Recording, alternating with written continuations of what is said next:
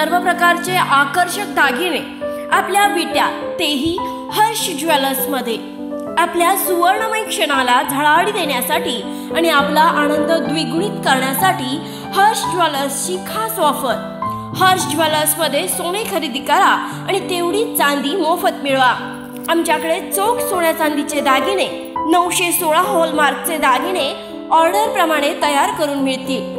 मंगळसूत्र हार झुमके घंटन fancy top पायलसह विविध प्रकारच्या दागिन्यांचे माहेरघर हर्ष ज्वेलर्स. खरेदीसाठी आत्ताच भेट द्या. प्रोप्रायटर श्री सीताराम भुजळे नगरपालिका काळा नंबर एकोणतीस लेंगरे रोड विटा. सागरेश्वर मधील हरणांमुळे शेतकरी हैराण शेकडो एकर जमीन पडू. शेतकऱ्यांच्या नुकसानीकडे शासन कधी लक्ष देणार? पलूस कडेगाव आणि वाळवा तालुक्यांच्या सीमेवर दहा पॉईंट सत्याऐंशी चौरस किलोमीटर परिसरात विस्तारलेले सागरेश्वर अभयारण्य हरणांसाठी प्रसिद्ध आहे. मात्र हे अभयारण्य सध्या येथील हरणांमुळे होणाऱ्या नुकसानीमुळे चर्चेत आहे.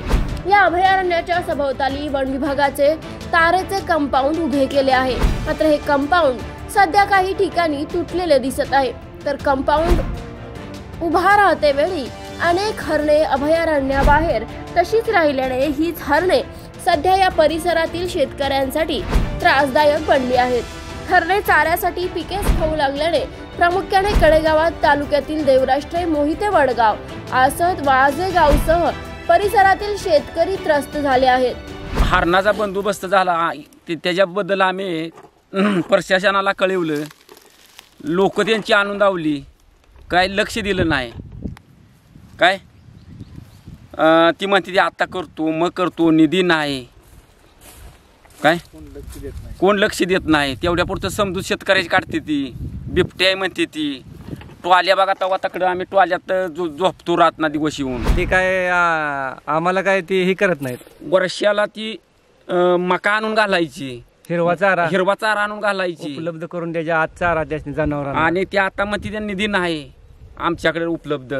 आम्हाला आमच्याकडे खर्चाला पैसे नाही ती. हारणं त्यामुळे लय ताप द्यायला लागली ती. शोधात बाहेर येते ते बाहेरच राहते अभयारण्यातील जंगली प्राण्यांनी काही ठिकाणी कंपाऊंड शेजारीच मोठी भगदाड पाडली आहेत.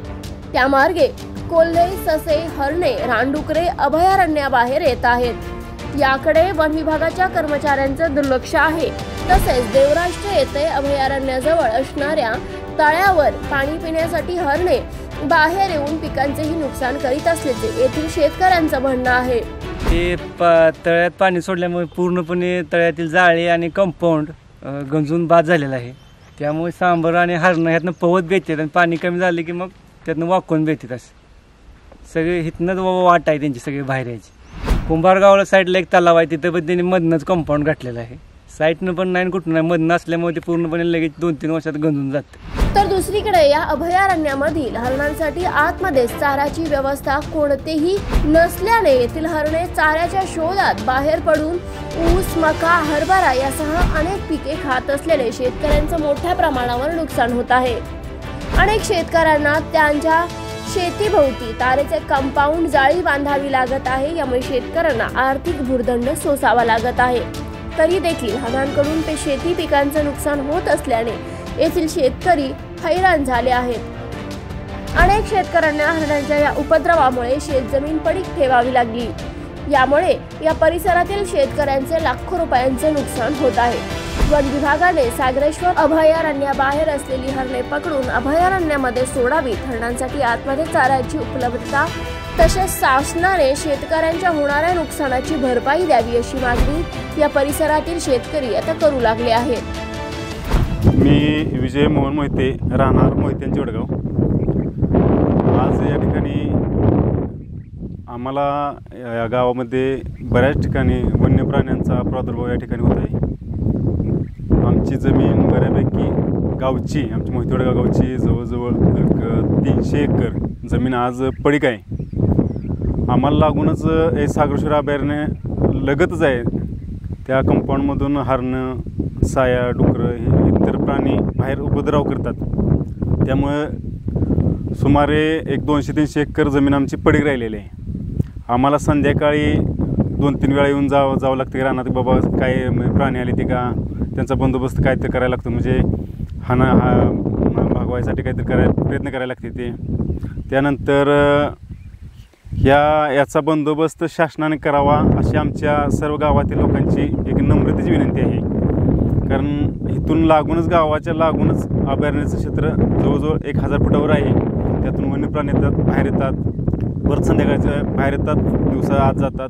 ते येणाऱ्या प्राण्यांचा या शासनाने किंवा जे कर्मचारी वन्य कर्मचारी आहेत त्यांनी त्याचा बंदोबस्त करावा. जे काही कंपन तुटलेलं आहे. ते कुंपण त्याने बंदिस्त करावे. त्यामुळे येणारे प्राणी तिथल्या तिथे थांबतील. किंवा जे बाहेर हरणं वगैरे आहेत त्यांना त्यांनी आतमध्ये नेऊन सोडावी अशी आमची सर्व लोकांची मागणी आहे.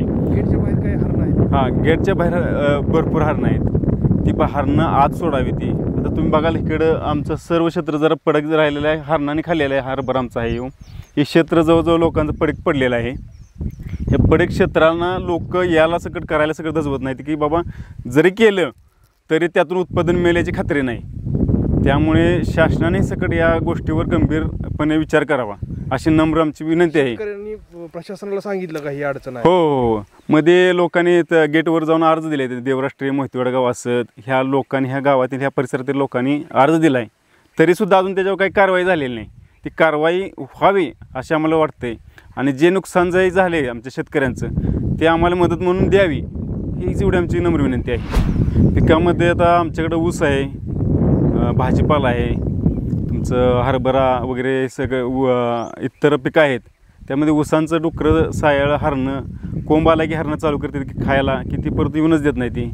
ससं आहे ते परत डुकरं आहे ती सायाळ आहे ती. सायाळ येऊन परत हे करते ते. समजा कलिंगडाचं पीक असेल तर भाजीपाल्याचं असेल तर उलटून टाकते ती. त्यामुळे त्याचं नुकसान भरपूर होतं हो. त्यामुळे ह्या गोष्टीकडे बी लक्ष दिलं पाहिजे. त्यामुळे यशवंतराव चव्हाण सागरेश्वर अभयारण्याजवळील शेकडो शेतकऱ्यांच्या होत असलेल्या या नुकसानीकडे वन विभाग शासन प्रशासन कधी लक्ष देणार? या शेतकऱ्यांना त्यांच्या पिकांची नुकसान भरपाई मिळणार का? असे सवाल या निमित्ताने उपस्थित होत आहेत.